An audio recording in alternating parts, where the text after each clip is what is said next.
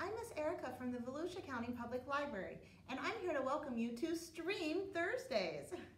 Today, we're gonna learn all about paint, mixing colors, while making our own watercolor paint. So let's look at the supplies that we're going to need. We're gonna need some baking soda, some food coloring of whatever colors that you choose, water, some type of a container. You can use a container with a lid or without a lid. As you see, I'm using an ice tray to store my paint in. And also, paintbrush, a container with water to rinse your paintbrush,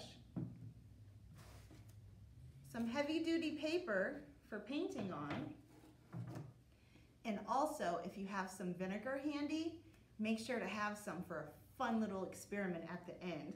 All right, let's get started.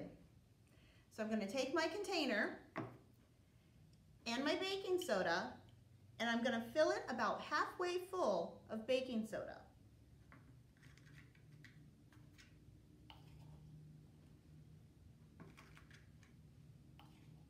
Oh, this looks fun already.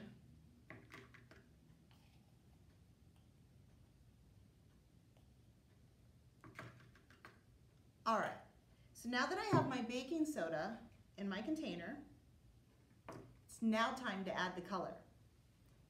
Let me add some yellow. I'm just putting about like eight to 10 drops. Some blue.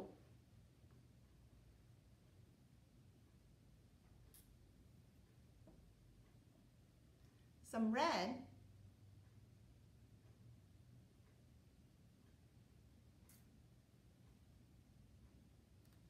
And some green.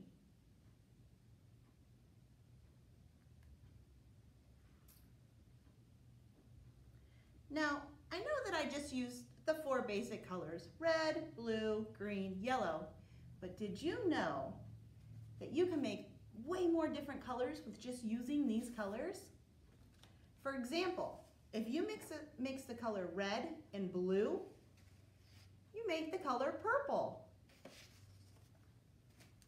And did you know that if you mix the color colors red and yellow, you make the color orange.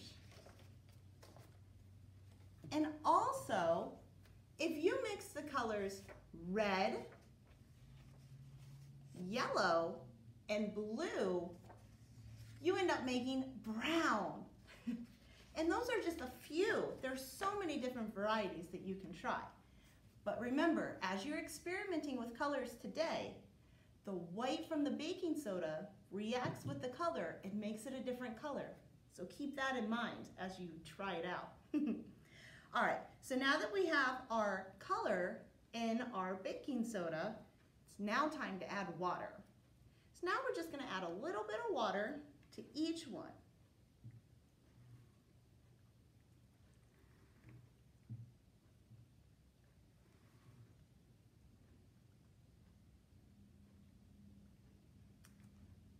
Now that we've added the water, I'm going to use the bottom of my paintbrush to go ahead and actually make the paint by stirring it.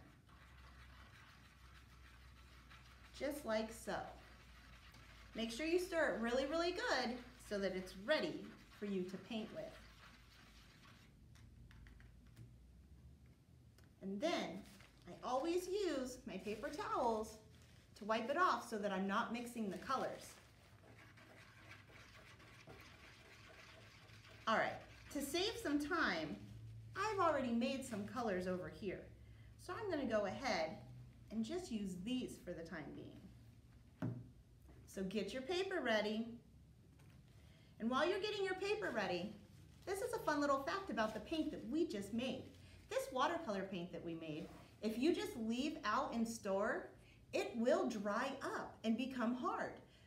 So all you have to do is just add a little bit more water and then stir it up and it becomes paint again. How cool is that? all right, so let's get to painting.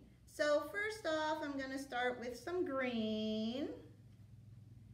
I'll put some green down here. La la la. Get a lot of that paint on there. Have fun with it. Painting's always fun. Be creative. You can do anything that you want. And it doesn't have to look like what you think it's supposed to or what other people think it's supposed to. All right, now that I put some green, I'm going to clean off my paintbrush. And how about some blue? Let's add some blue real quick.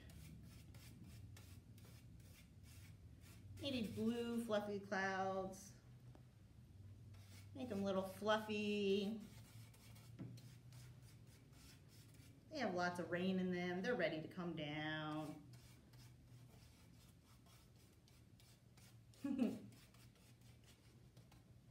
All right, let's add one more color just for fun. Let's do, hmm, yellow.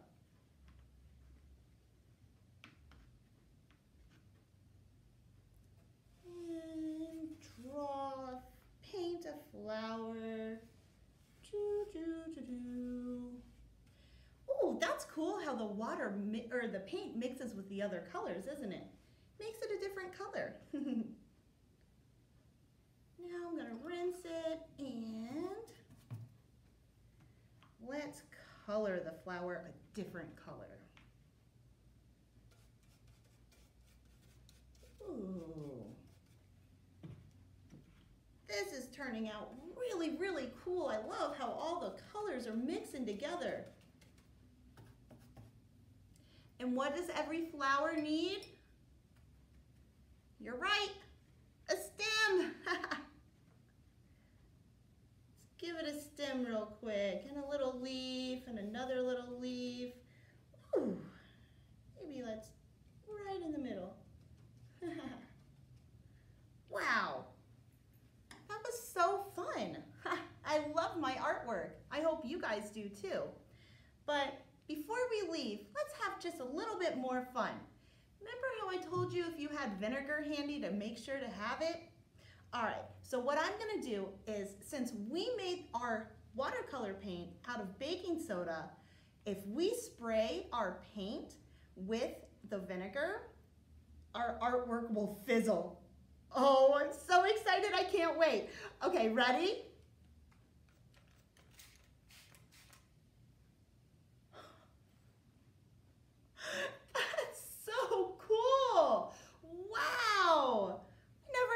make our artwork fizzle. and we learned how to make watercolor paint. That's awesome. Wow, I had so much fun with you guys today. Thank you so much for joining me. Make sure to keep on exploring and experimenting. See you next stream Thursday. Bye.